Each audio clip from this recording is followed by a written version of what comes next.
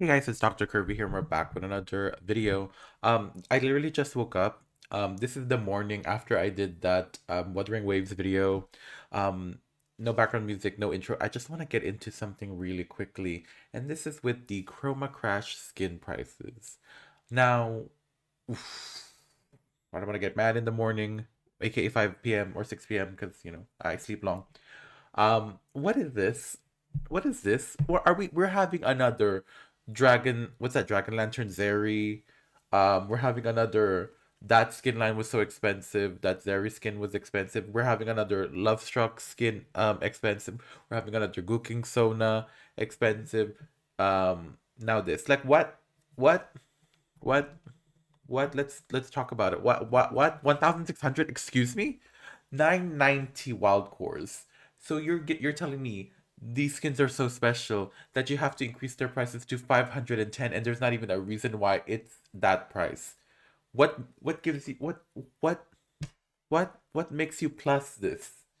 Girl i was so pissed. I wasn't fortunate at the time to get you know uh, well it's expensive either way. I didn't i wasn't fortunate enough to get love struck or Sona Guqin at the same time let alone this if you add those two prices together on a regular bundle, if if an epic bundle skin costs around I think it's I think it's 1380 with the border with the emote and the pose with the skin, that's 1380.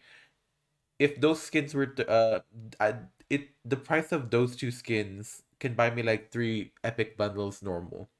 The fact that I can even get it, it's 1700 uh and 10 1780 for a, a, a bundle which is roughly around like 3500 wild cores. That's expensive. This skin alone is the price of a legendary skin. That is crazy. Like I've seen people get this on my um timeline, like on my Twitter feed. I get it. They have money. They like they like to do all the collecting. They get money. They work. I get it. But the thing is, I don't like when people buy it sometimes because I feel like they're encouraging them to keep doing these prices. For what? The question you need to ask yourself when you make an epic skin or when you're pricing an epic skin like this is what gives you the audacity to make it like an extra like five what why are you adding the 500 wild cores? What's what's the specification in your like analysis when when we set the boundaries for skins legendary epic um meh and then cheap? Like what makes you like when i when i saw the vex skin that was perfect because it was limited time skin. It was like that's a good definition of doing things right when setting skin prices that are limited. But this, what? If the standard is already epic, it's 990, then keep it 990. What made you what what what what gave you 510 wild cores extra? What what gave you the pricing for that? Is it 990? It's not even nine. It's not. It's not even 500 extra wild cores. It's 610 it's 610 wild cores. So what what what specification gave you um to give that price? Like is it just because they're limited? Like is that what makes it um six, uh 600 cores more expensive? Is it because of this logo over here? Like I've seen this logo recently in their games because I think China does it like the wording it says this. Like I think it says like limited time whatever. Um so that's what that's what makes it the price um, this could be the cost of the special edition brand skin. Like, what is like? Don't get. I just woke up. Don't get my blood pressure rising. I don't get pissed as much as I can. Like, are you crazy? Add on to that the gacha. Like, I want I want people who don't doesn't want to invest in gacha to just buy it for the sake and expect the normal price. I can buy two skins with this price, ish. I can buy um a 990 epic skin and a 725 skin. Like that's how bad it's been. Girl, we need to bring back like 725 skins in general. Like back in the day, I get League does that as well. Like, like if you were a Riot watching this, like a Riot employee, give me an example.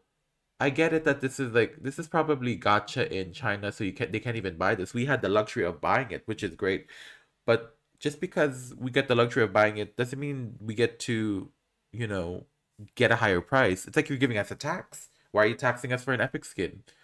Like, if you're a Riot employee watching this, like, what, um, what, give me, pinpoint out what gave them the audacity, these skin developers, to add 610 wild cores to it? And I'll listen to you. I always listen to people's point of views. Like, oh, my model's wonky. Like, let, let me know in the comments below. Like, that this is just crazy. I can't even speak. Um, but yeah, that was the video. I just wanted to do a quick, what the F, what the fuck. Um, but yeah, I'm just gonna close it right there.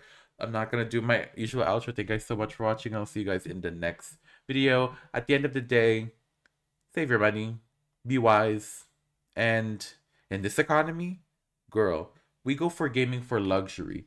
We don't go gaming to stress out about the real world situations. Like we come here to separate that.